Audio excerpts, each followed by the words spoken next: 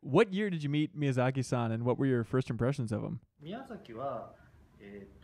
So Miyazaki-san joined From Software when the industry was dominated by PlayStation 2.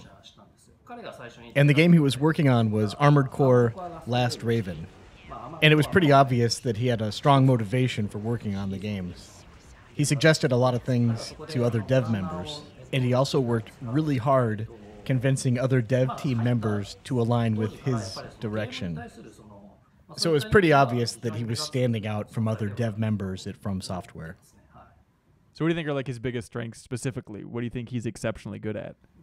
It's really hard to explain in a single sentence Miyazaki-san's advantage. But he's really fast at interpreting game design ideas. He doesn't spend that much time adjusting areas, which is the best way to make a game better do you think there are misconceptions about Miyazaki-san around the world? Do you pay attention to like how he's perceived? Although he pretends to be an outgoing person, he's actually pretty shy.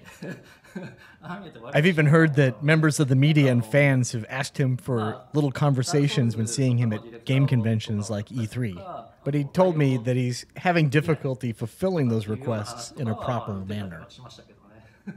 Just because there's like too many fans out there at this point? So Miyazaki-san feels that his face isn't recognized that much by fans or the media right now. So he's hoping that rather than his appearance or himself being treated like a superstar, that fans give good comments on his games. He's a little bit nervous about being treated like a superstar in the video game industry. So Dark Souls should be the superstar. yes, that's exactly what he wants the fans and the media to say.